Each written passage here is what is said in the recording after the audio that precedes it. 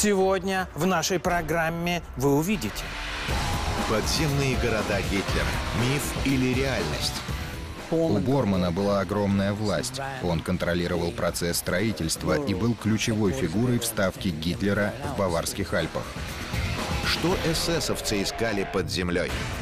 Роль оккультизма и мистицизма, особенно для фашистской идеологии, была очень велика. Откуда исходят странные звуки по ночам?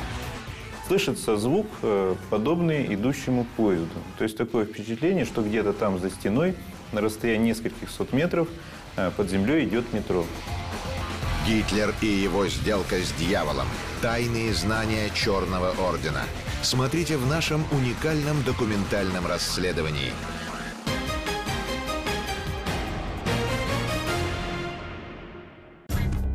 Это морское чудовище выбросило волной к берегам Англии в 2016 году. Британские спецслужбы находку засекретили. Но зачем? Исследователи выдвинули шокирующую гипотезу. Загадочное существо — ныряльщик-диверсант времен Второй мировой войны. По словам специалистов, утонувшие аквалангисты в прорезиненных гидрокостюмах нередко мумифицируются в морских глубинах при низкой температуре и определенном составе воды. Известны случаи, когда их тела хорошо сохранились по истечению более 50 лет. К тому же хвост обнаруженного чудовища подозрительно смахивает на небольшие, но высокопрочные ласты итальянских и хорватских морских дьяволов, воевавших на стороне Адольфа Гитлера. Существуют свидетельства, что нацистские ныряльщики не только были отменными пловцами, но и располагали секретными картами подводных пещер. В освоении подземных полостей, по мнению исследователей, гитлеровской Германии не было равных. Гигантская паутина из бункеров и тоннелей соединялась с выстроенными подземными городами. Мы периодически натыкаемся на очень странные тоннели – Непонятно, кто их сделал, но это видно, что тоннели рукотворные, причем сделаны не киркой там, и какими-то примитивными инструментами, а достаточно серьезным горнопроходческим оборудованием. Изучение параллельных миров, поиск святого Грааля, Шамбалы, исчезновение нацистских сокровищ и создание супероружия – все это связано с тайными подземельями. Ходят даже невероятные слухи о сделке Гитлера с самим дьяволом – что здесь правда, что вымысел, и почему по прошествии многих десятилетий загадки уже несуществующего Третьего Рейха вызывают столь повышенный интерес.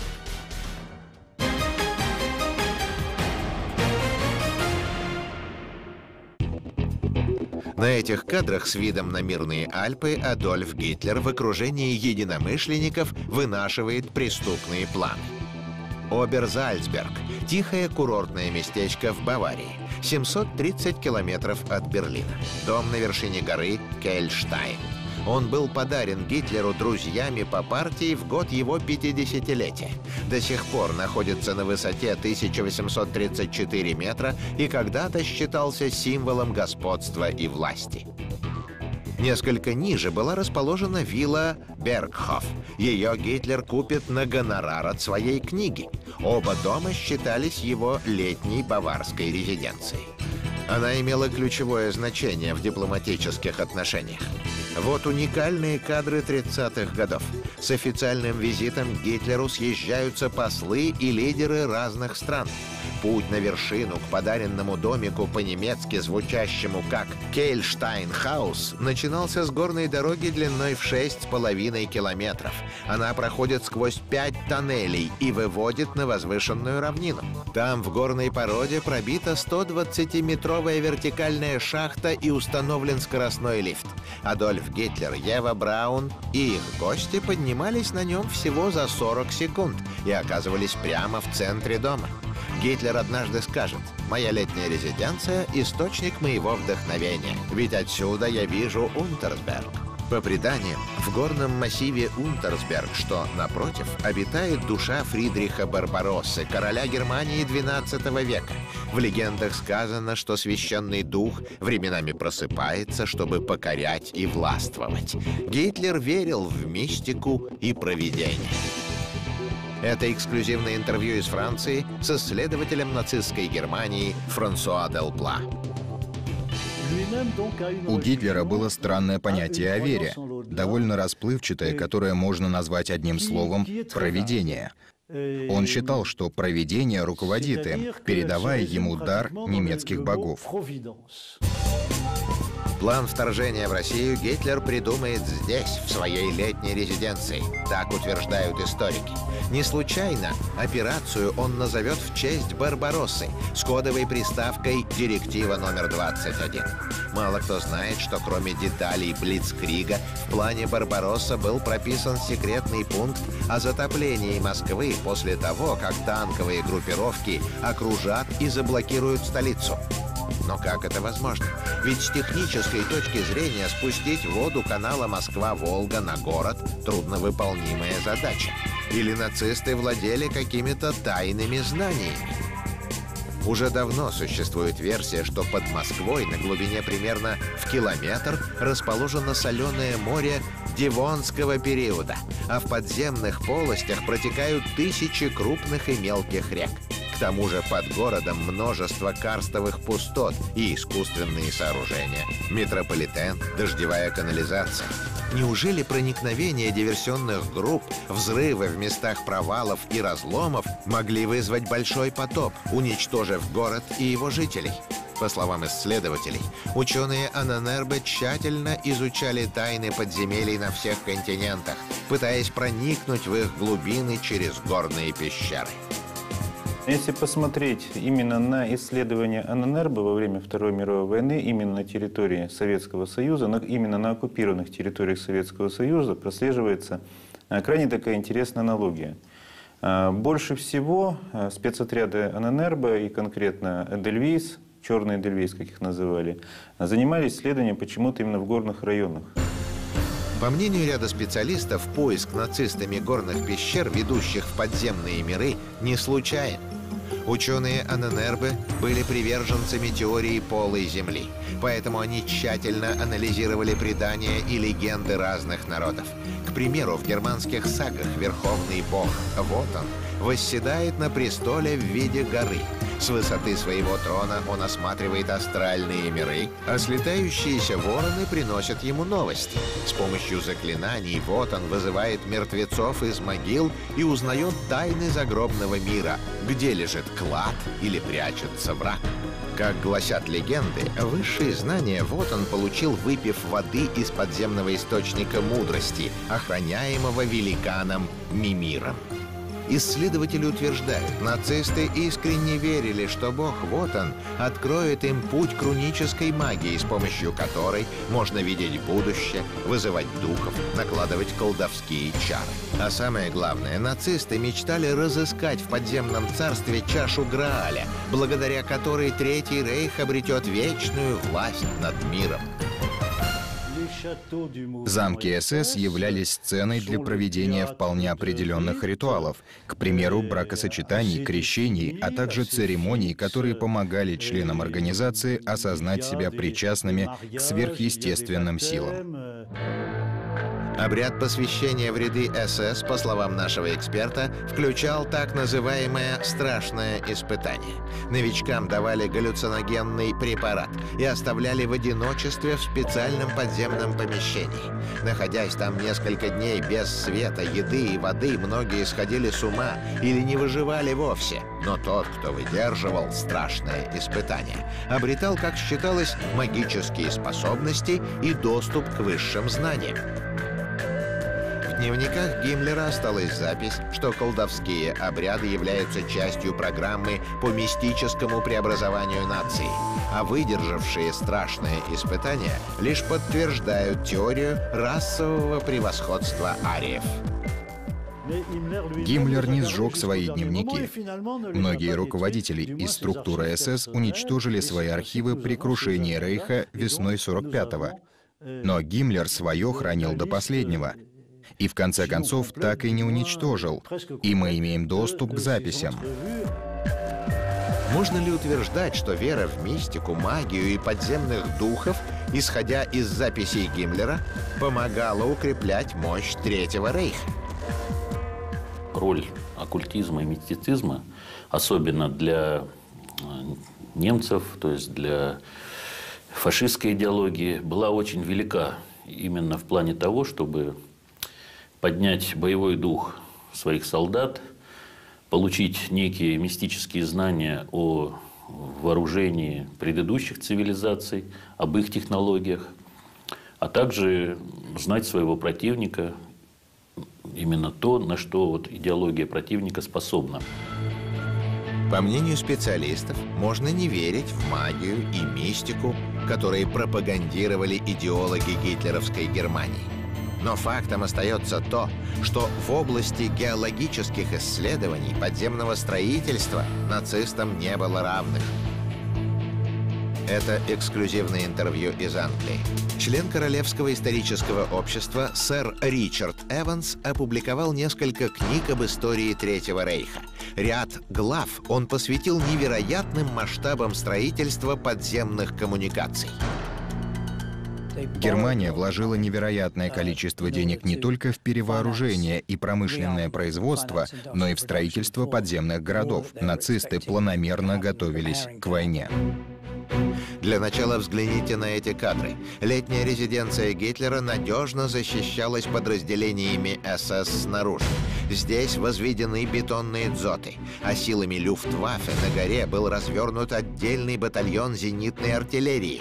Работала дым-машина. И вообще, маскировка местности, оберегающая от ударов с воздуха, продумана до мелочей. Однако, несмотря на все это, Гитлер поручит Мартину Борману создать внутри горы целый город.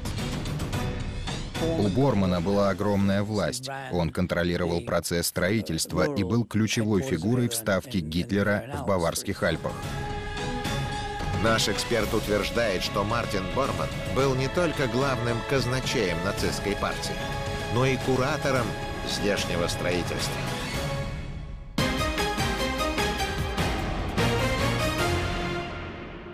Если вы ищете ответы на вопросы, можно ли верить Нострадамусу и Ванге, правда ли, что в астрологических прогнозах есть разумное зерно, и что нам обещают в будущем политические эксперты с очень хорошо развитой интуицией, эта книга для вас.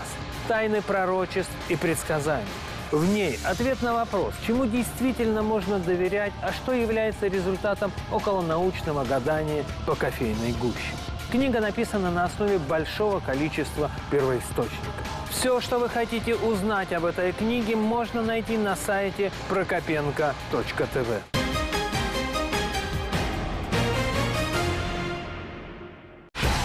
Как появился подземный город? Возможно, у них были какие-то сведения из Тибета. Вот, все мы знаем, что у Гитлера был такой товарищ, так называемый «зеленый лама», Откуда исходят странные звуки по ночам? Слышится звук, э, подобный идущему поезду. То есть такое впечатление, что где-то там за стеной, на расстоянии нескольких сот метров, э, под землей идет метро.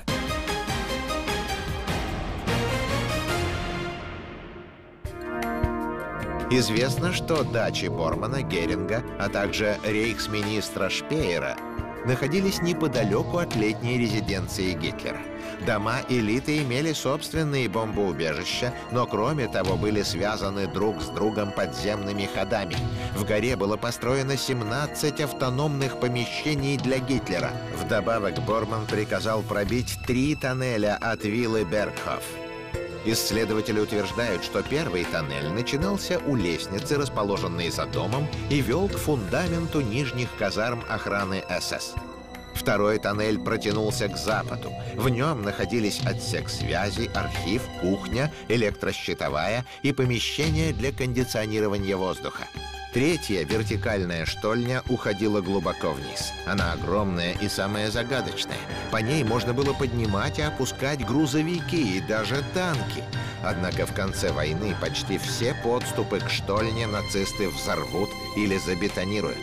Есть версия, что она соединялась с подземной железной дорогой и, возможно, с подземным озером, куда могли заходить подводные лодки. Но как немецкие инженеры могли достичь подобных технологий?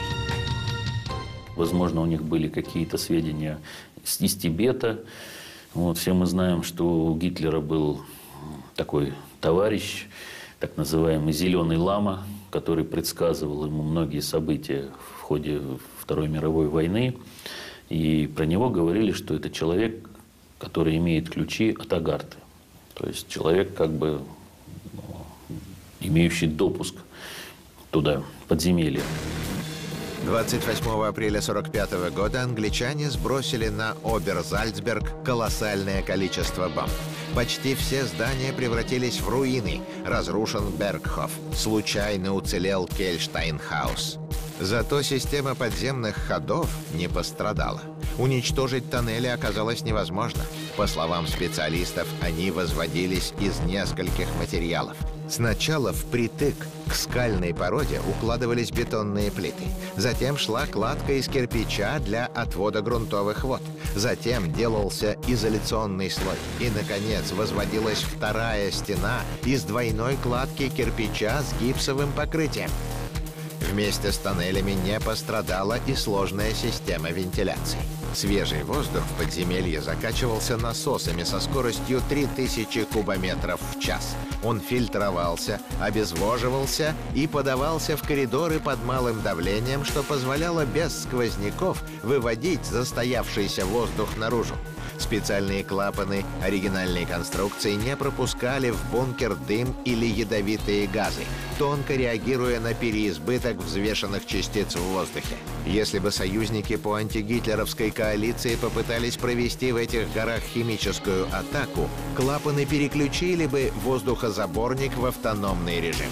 Подземный комплекс мог существовать в закрытом режиме несколько часов, Исследователи утверждают, что подземные лабиринты протянулись под Германией, Польшей, Украиной. На картах вермахта они обозначены как лагерь дождевого червя. Тоннели представляют собой рукотворные бетонные сооружения с отличной гидроизоляцией и вентиляцией. Но для чего? Только ли для укрытия или для разработок смертельного оружия?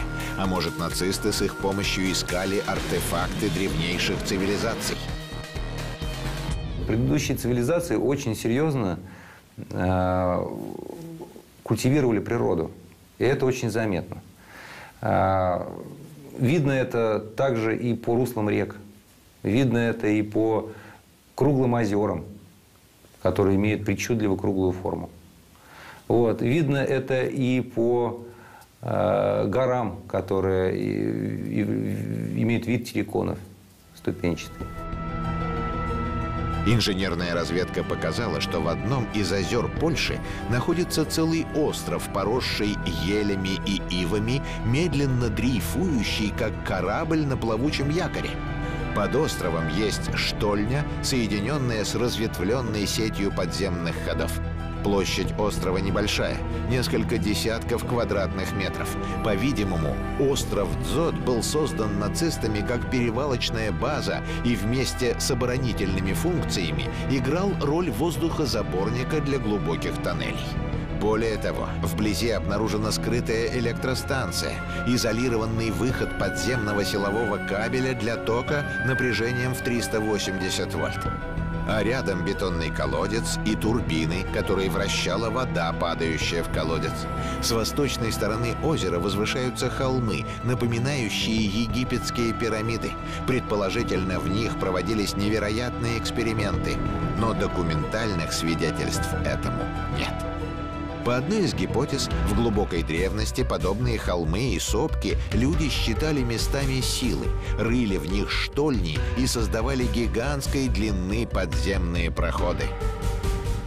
Все практически горные страны имели в случае каких-то набегов варваров или в случае каких-то воинственных конфликтов возможность уйти вот в эти города.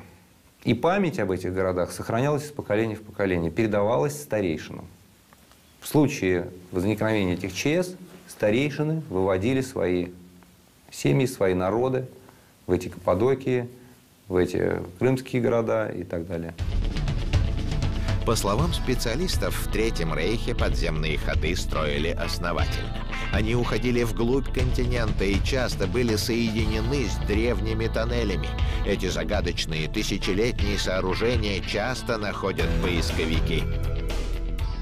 Судя вот по тем сооружениям, которые сейчас мы находим, то есть ну, на территории России это именно подземные какие-то вот эти сооружения, проходы, некие там шахты, которые были освоены непонятно кем и когда, и, в общем-то, сделаны достаточно на высоком технологическом уровне. То есть пробивать штольню в каменной породе – это достаточно затруднительный процесс. А эти проходы иногда длятся там несколько, по несколько километров. Известно, что в гитлеровской Германии был разработан проект под кодовым названием «Одесса». По одной из версий его авторы предлагали обустроить подземные полости Земли для незаметного проникновения на территорию Советского Союза диверсионных групп. Нацисты считали, что из Германии под землей можно беспрепятственно добраться в Одессу, Николаев или Крым, проникнуть в бухты Севастополя или Балаклавы. Нацисты планировали на всем протяжении построить подземную железную дорогу, используя в том числе древние тоннели. Случайность? Совпадение? Но в южных районах нашей страны работники горнодобывающей промышленности нередко слышат вылетающие откуда-то из-под земли звуки, напоминающие движение железнодорожного состава. В определенной части штрекового комплекса э, слышится звук, э, подобный идущему поезду. То есть такое впечатление, что где-то там за стеной, на расстоянии нескольких сот метров, э, под землей идет метро. То есть вот это классическое тутум-тутум, тутум-тутум, тутум. Эффект продолжается в течение минуты, и потом пропадает. Мы, говорит, уже спрашивали у наших э, военных инженеров, есть ли что-то тут, может быть, там что-то, какие-то подземные реки. Ничего. Естественно, на глубинах полутора километров э, современных военных объектов априори быть не может. Загадочные звуки, таинственные строения, отверстия в скальных породах, словно аккуратно выжженные плазмой. Все это, по словам исследователей, свидетельствует о том, что странные тоннели опоясывают весь земной шар. Они проходят не только под материками, но и под морями и океанами.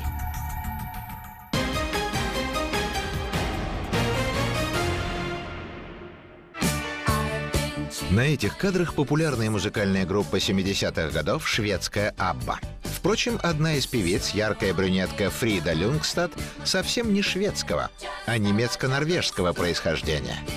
Говорят, что именно она внесла основную лепту в создание композиции «Мама Мия», которая 10 недель лидировала в мировых хит-парадах 1975 года, потеснив с первой строчки богемную рапсодию британской рок-группы Queen. Веселый и беззаботный на первый взгляд сингл «Мама Мия» на самом деле имеет грустный подтекст. По словам исследователей, отец Фриды Люнгстад был офицером СС. В конце войны, опасаясь преследования, он поменяет документы, станет якобы бывшим полевым сержантом. Но дело не в этом. Известно, что он имел семью в Германии, а в Норвегию прибыл по линии Анненербе, а также участвовал в проекте организации Лебенсборн чьей целью было создание чистой расы с помощью зачатия детей с истинно арийской кровью. Почва и кровь определяют происхождение человека, так считали нацисты.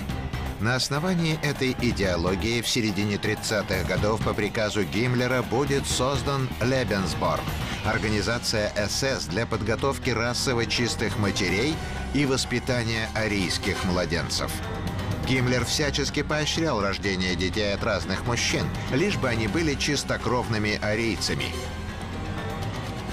Отбиралось расово чистое, э, так сказать, потомство в Норвегии, в Швеции, девушки, имеется в виду. И они вступали в половые акты с членами СС. Ну, да, то же самое было в Германии, что любопытно. Наиболее так сказать, э, желательным было совокупление на кладбище, на могилах, опять-таки, расово чистых германских предков.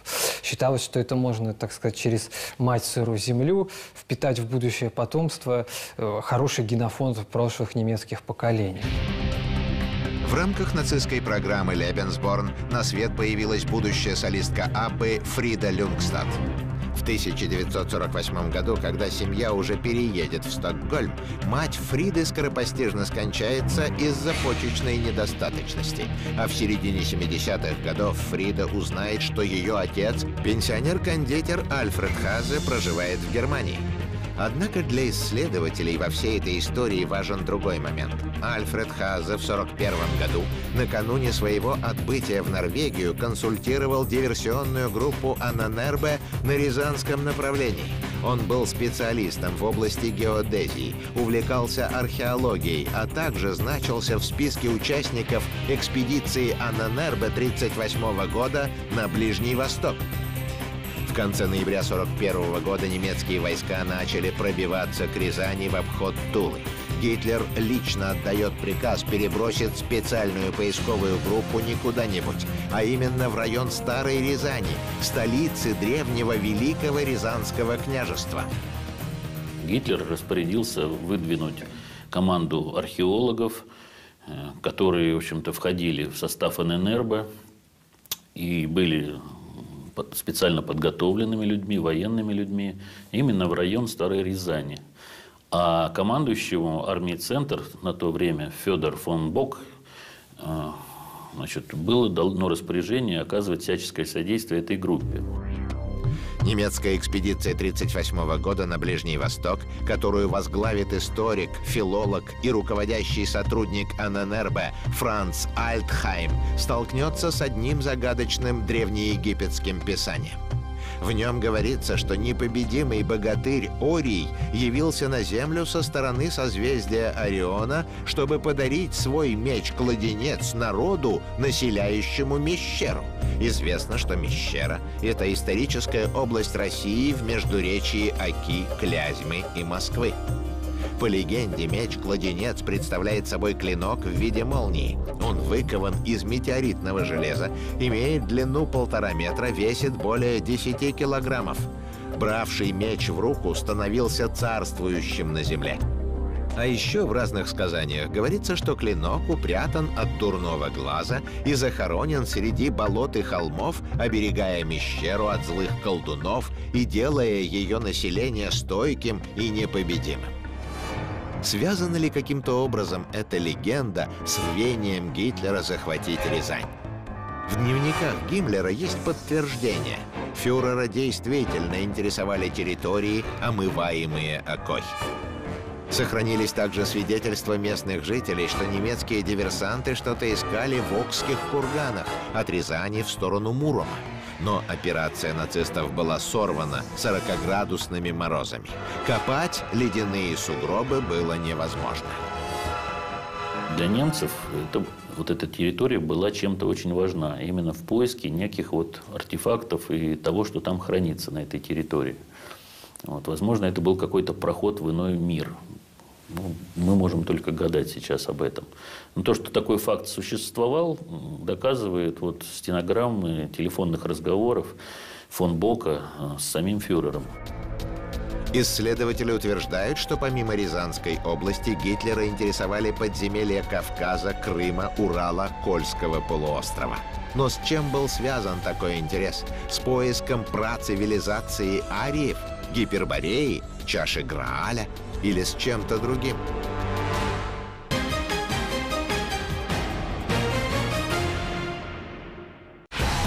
Неужели подземная цивилизация существует? Возможно, э, немцы пытались даже не только найти чашу Граали некоторые знания, но, возможно, пытались вступить в контакт с теми существами, о которых очень много легенд. Зачем нацистам понадобилась Антарктида? По моему мнению, они решали две задачи. Первое — создать универсальный летательный аппарат.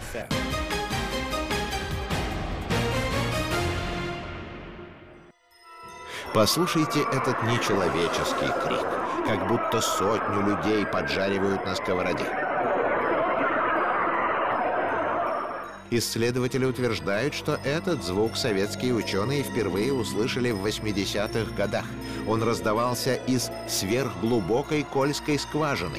Неужели это голос из ада, описанного в Священном Писании? Помимо этого, здесь, на Кольском полуострове, происходят другие загадочные явления. На этих кадрах подведомственная территория города Апатиты Мурманской области. Месторождение фосфатных минералов. Здесь их добывают как открытым способом, так и под землей. И вот что рассказывают горняки.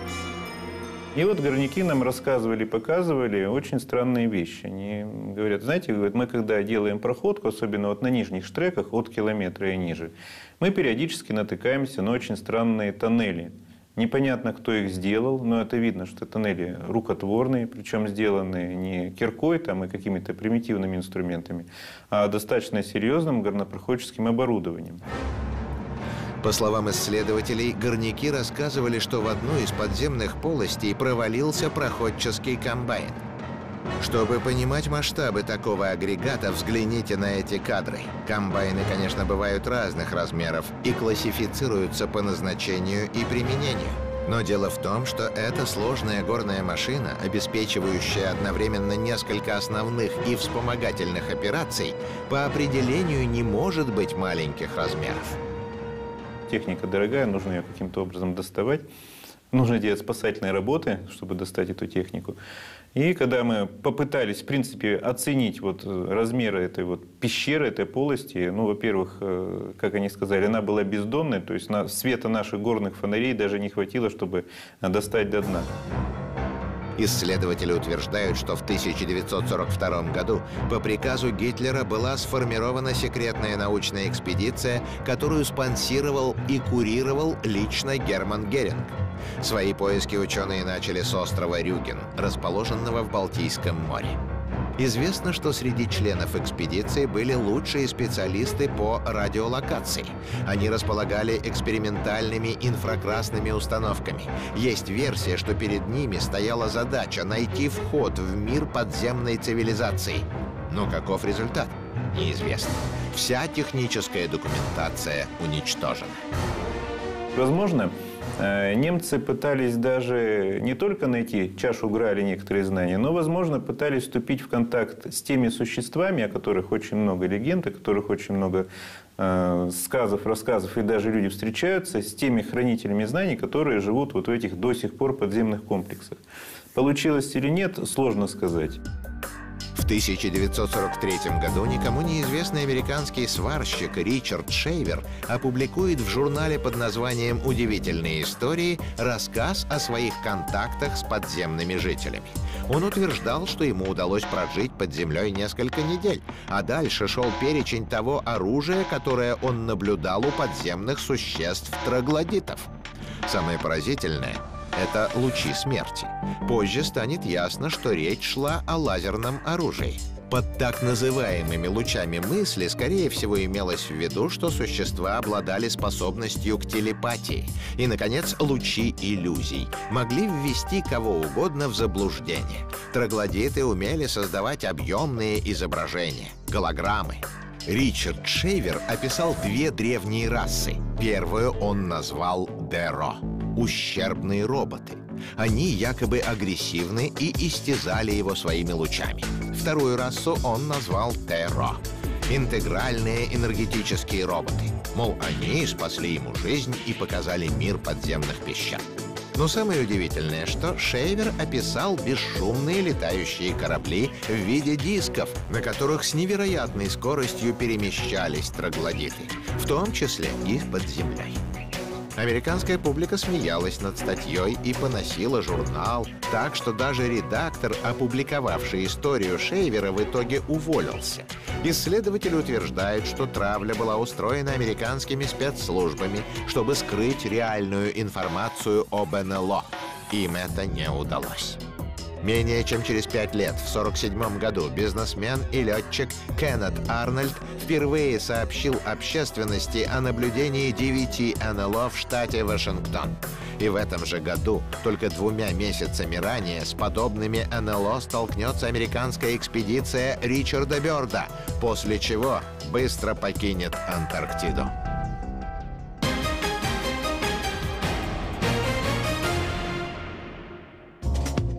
Конце 30-х годов нацистская Германия официально предъявит территориальные претензии на Антарктиду. Формально от них Германия не отказалась до сих пор. 17 декабря 1938 года корабль «Швабия» отправился в Антарктиду из Гамбурга с двумя летающими лодками. В январе 1939-го самолеты начали подробное фотографирование территорий. Через каждые 30 километров они сбрасывали нацистские вымпелы, помечая территорию. В апреле Швабия вернулась в Гамбург. Аэрофотосъемка была передана специалистам.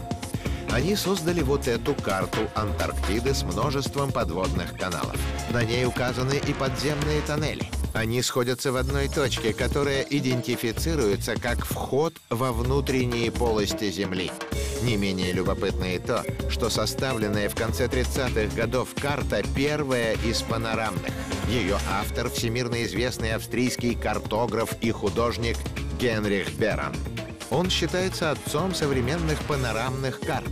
Однако западные историки почему-то замалчивают тот факт, что Генрих Берон вместе с отцом Фриды Люнгстад в 1942 году проходил службу в Норвегии и Северной Финляндии. По словам исследователей, Генрих Берон работал в особом отделе СС, где создавал секретные карты, на которых в том числе указывалось местоположение строящихся бункеров для обслуживания нацистских подводных лодок. И не только.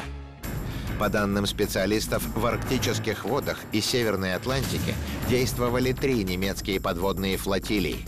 11 с базой в Бергене, 13 с базой в Тронхайме и 14 с базой в Нарвике. Это западные берега Норвегии. В то же время в Северной Норвегии в провинции Финмарк также были созданы базы для снабжения и стоянки субмарин. Основная находилась в Хаммерфесте, где еще была площадка для гидросамолетов. Две другие базы находились в Киркенесе или на Хамаре. Также для временной стоянки подлодок использовались фьорды – узкие извилистые заливы со скалистыми берегами. Однако зачем нацистам понадобились базы с грандиозными подземными сооружениями? Ведь известно, что дальних переходов фашистские подлодки в водах Арктики не совершали.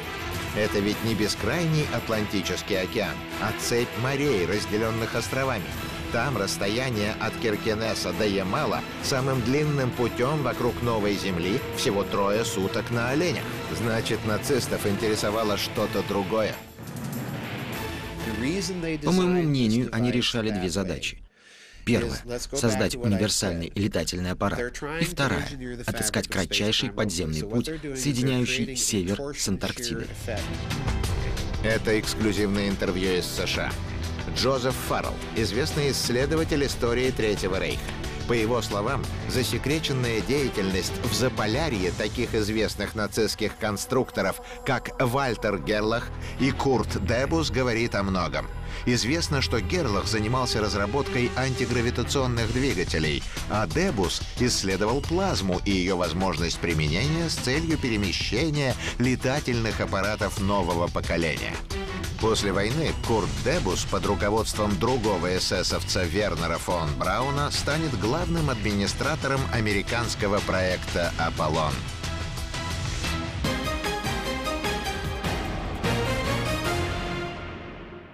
Если вы хотите знать, что такое русский человек за границей, который готов простить дурака, но может и в морду дать, если наглецы распоясались, Какие факты русской истории так безжалостно переврали немецкие авторы наших учебников Миллер и Шлёцер?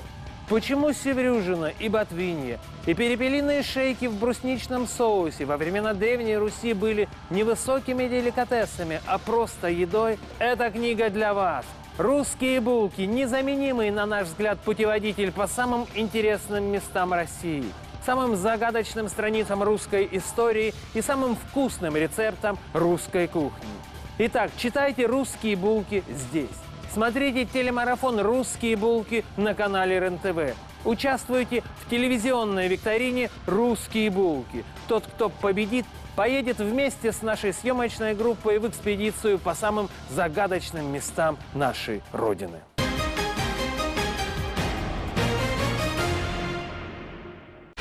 Какие тайные знания засекретили американцы?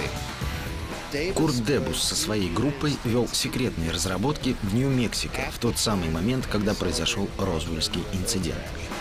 И была ли на самом деле сделка Гитлера с дьяволом?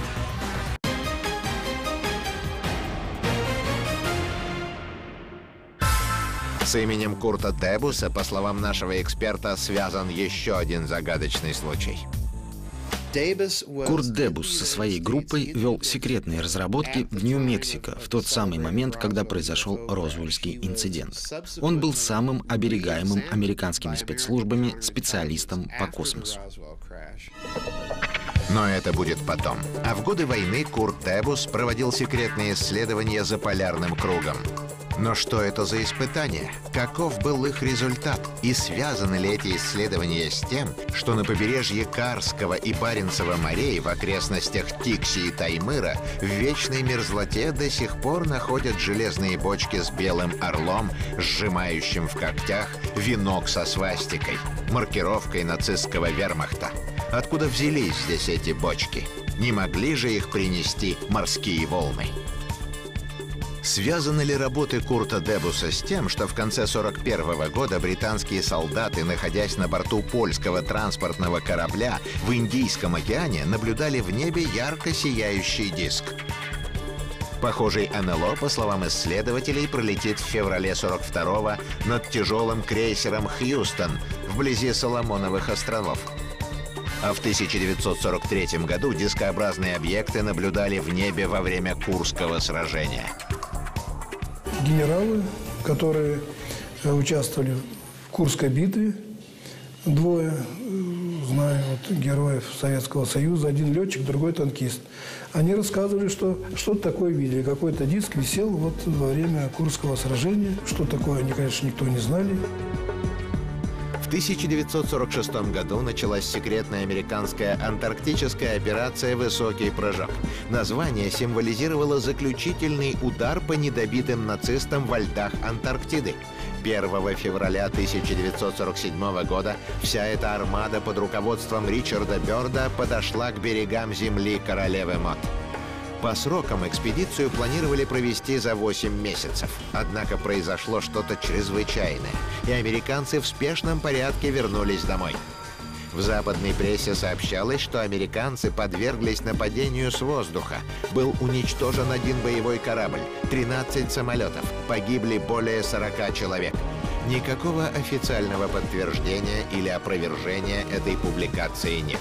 Однако, по словам исследователей, несколько военнослужащих рассказали журналистам, что их атаковали выныривающие из-под воды летающие диски.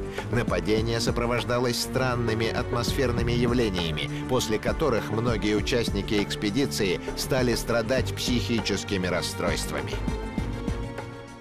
Американский адмирал Ричард Бёрд уже после войны столкнулся с чем-то сверхъестественным. Я думаю, что это сверхъестественное дело рук нацистов, которые базировались в Антарктиде. Неужели нацисты создали оружие возмездия? Но почему Гитлер не воспользовался им? Только ли потому, что не успел? Но тогда как объяснить другое? Известно, что на вооружении Германии к середине войны стояли крылатые ракеты Фау-1. Испытывались первые в мире баллистические ракеты Фау-2. А к 1944 году заканчивались работы по строительству Фау-7, модификации сверхтяжелой летающей тарелки в рамках программы «Оружие возмездия». По утверждениям исследователей, к концу войны они были готовы к военным действиям, но почему-то не применялись. Имеющиеся экземпляры были переправлены в неизвестном направлении. И вот здесь возникает версия, что настоящими хозяевами, спонсирующими разработки НЛО, были американцы и англичане. Деньги Гитлеру ведь шли от них. Возможно, никому не хотелось терять свое добро в заведомо проигранной войне. Именно англосаксы завербуют немецких конструкторов, когда станет понятно, что Германия проиграет. Этой версии есть косвенное подтверждение. В 1995 году западные ученые сообщили о найденном таинственном письме. По их утверждению, это был договор между Адольфом Гитлером и самим дьяволом. Якобы он подписан 30 апреля 1932 года, а подписи поставлены кровью. Действительно, по мнению западных ученых, судьба неудачника Гитлера кардинально изменилась после 1932 года. Уже через год он придет к власти. Взамен фюрер якобы отдал душу дьяволу на 13 лет. И, собственно, поэтому ушел из жизни, следуя договору 30 апреля 1945 года. Красивая история. Но кто ее придумал и зачем? А дальше больше. После обнародования этого письма стали постепенно поднимать голову нацисты. Началось оправдание деяний Гитлера на высоком политическом уровне. Это профессор Зубов. Еще недавно он обучал будущих российских дипломатов. И никогда не скрывал, что еще с юности жалел, что Гитлеру не удалось поработить нашу страну. Досадно, что Сталин не проиграл войну Гитлеру, потому что все равно бы, в конце концов, союзники бы нас освободили, но тогда mm-hmm. англичане и американцы бы нас установили демократию. Но мы же знаем, что это не так. Сегодня уже хорошо известно, что определенный круг элиты англосаксов спонсировал Гитлера. Американцы одной рукой поставляли Третьему Рейху нефть, а другой рукой Советскому Союзу за золото поставляли тушенку и ботинки. Англичане считали, что всего две недели отделяет нашу страну от полного разгрома. Так писала их пресса. Американцы давали нам чуть больше – месяц. Задача, по словам историков, у англосаксов была одна – как и в Первую мировую, стравить Германию и Россию, обескровить, поделить территорию и ресурсы нашей страны. Поэтому, если Гитлер и подписал договор с дьяволом, то в его лице выступали именно англосаксы. Эта версия подтверждается сегодня. Западные державы, позиционирующие себя как демократические, без стеснения демонизируют и пытаются уничтожить тех, кто не желает жить по их правилам. Дело, которое когда-то под контролем англосаксов начал Гитлер, продолжается. А загадочные подземелья, возможно, до сих пор хранят секретные разработки для новой войны.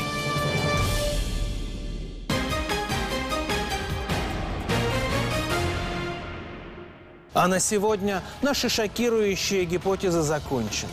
Если что-то в нашем рассказе вам показалось чересчур радикальным, не обижайтесь. У нас нет задачи вас ввести в заблуждение. Мы лишь хотели показать вам все великое многообразие подходов к истинам, которые пока считаются незыблемыми. До встречи в программе «Самые шокирующие гипотезы» каждый день с понедельника по пятницу, как всегда, в 18.00.